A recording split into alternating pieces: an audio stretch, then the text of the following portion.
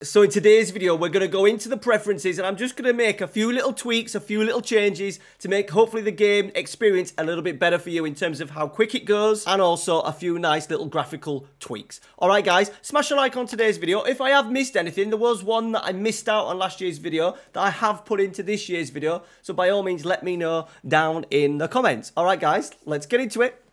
Okay, so the first thing we do is actually give our manager a face. As you can see, there he is. That was my Sir Alex Ferguson um, avatar that football manager decided to put together. It looks horrendous. Obviously, this is the main skin for FM23. However, for FM23, you do get bigger faces in different skins. So this will definitely stand out more. And as you can see, it looks absolutely horrendous. So we need to change that. So in we go to preferences, general, scroll down to the bottom, change profile picture, press select, head into your pictures, scroll down so you can see something that you like. So this was the original picture that I used for the avatar.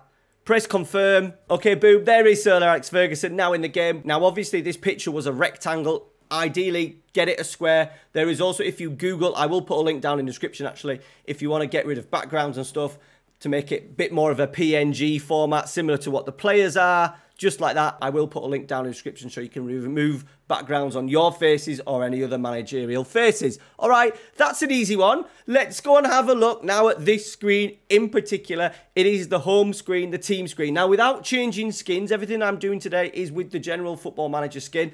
The next thing is that we want to make the screen a little bit bigger. And what we're going to do is we're going to remove the words out of this sidebar. So, obviously, back into preferences, interface, and then right here, side icons only, ticket, press confirm, and there you go. It's opened out the screen, made the screen a lot bigger. Now for me, I'm playing on a 1920 by 1080 screen, full game mode, no windowed mode. But I just think on 100% zoom, it is a little bit too, there's too many gaps. I think a few things could be made a little bit bigger. So what I want you to do, see if this works for you. It's not for everybody. However, people do often ask, how do I get my skin and things looking the way they are? And one of the changes that I do make, little tweaks, is back in preferences Football Manager. Obviously, there's the full screen 1920 by 1080, and all I'm going to do is just move that up to zoom 110%. Not the 125. By all means, try the 125. However, for me, this just makes a nice little impact into the game in terms of making it just that little bit bigger, and at the same time, not making it too cluttered. Okay, and there you go. It's not a huge change, but I think it's a noticeable change does fill out the screen a little bit better. It makes them player icons, if you're getting the badges and the logos and stuff like that, it does make it a lot bigger. It fills out these screens as well, just makes things a little bit more, more noticeable. I'm lucky because I play on a 27 inch screen. However, you boys and girls sort of like playing on your laptops, you're looking at maximum, what, 17 inches, okay? Makes a bit of a difference, so I suggest you go and just up the zoom just a little. Okay, the next little one, we're just gonna look at more of this player profile screen, and in particular, two things. We're gonna look at the attribute colors, and we're also gonna look at these panels right here. Okay, so, first of all, for me, I don't think these colours, because green and yellow are pretty similar, and obviously the grey and the dark grey in the attribute screen are pretty similar. We're going to change these and pop, make it pop a little bit more. All right, so you're going to go obviously back into your preferences.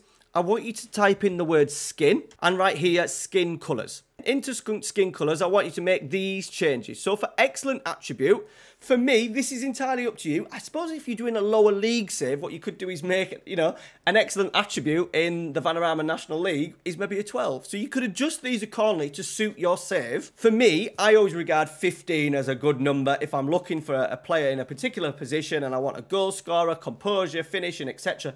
I'm happy at 15, to be honest. So my excellent attribute, I'm going to change that to 15. Now this bit here, I'm going to make it just pop a little bit more. Okay, as you can see, green and yellow, pretty similar. And then average and low attribute look like pretty much identical in the game. So what we're going to do is we're going to leave excellent where it is because it's a nice bright green. We're going to change the good attribute to blue. We're going to leave the average attribute at white. And then we're going to turn the low attribute to red. Just like that. Okay, now for me, you can also change these as well. Average threshold is 6. You can knock these down a little bit more, but I'm going to keep it as it is. I'm going to press confirm, and there we go. Once you've pressed confirm skin, this screen now appears. Changes are different. You may not agree with the color coding that I have done, but it is in the game for you to change and for you to edit and make it look exactly how you want. For me, I've been doing this for about three or four years now, so I'm used to these colors, and they just make it pop to me, a little bit better than the bog standard FM skin colours. Okay, another little one is if you've got a custom skin, once again, these panels will often change. All right, so you may want to have a different thing loaded up here for example, you may want something different here. So you'll go on the tab, you'll press contract, you'll move on to another, you'll maybe play a game, you'll go onto another screen and come back and it's all reset. So to make sure that they stay as you want, you head into your preferences again and right here, automatically override custom panels, take that off, press confirm. All right, once you've pressed confirm, now with your custom skin, these panels should stay as you want and not always reset to the bog standard one that the skin has set. Okay, so those are a few changes, just I think, to make the game just look a little bit better, either with the custom skin or with the bog standard football manager skin. Now, the next thing we're going to do is just make a few tweaks in preferences just to make the game move a little bit faster. Okay, so there's two main things that we're going to look at. Head into the interface part of the preferences. You're going to scroll down to the bottom of the screen and these two little things down at the bottom.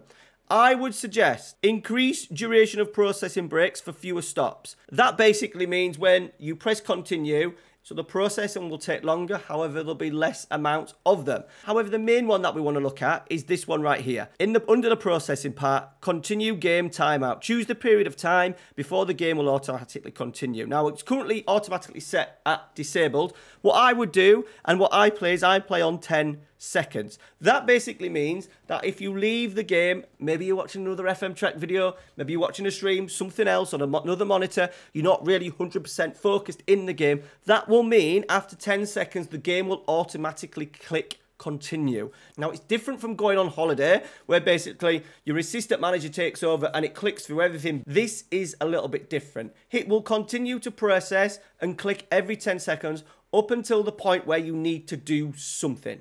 So just have a look. I tell you, just to make it a little bit shorter, let's put it on to five seconds. Press confirm.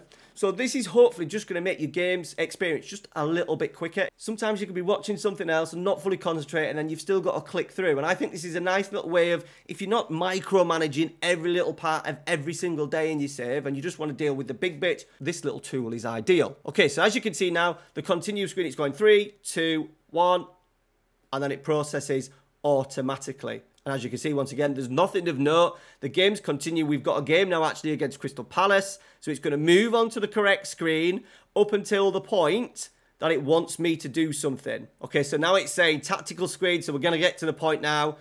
Team selection. Nothing that needs to be done on this part. And then right here, we can't, the, the clock has now stopped because it wants me to do something. It will not start a game without you. Okay, so a nice little tip just to make the game a little bit faster. Okay, everybody, that's it for today. I hope these little changes just improve. We're not talking massive changes, but if it gets an extra 5, 10% quicker in terms of your gameplay, in terms of making the game just look a little bit nicer for you, a little bit clearer with the zoom and the skin colour changes, then hopefully the whole game experience will improve for you for FM23. All right, guys, thanks for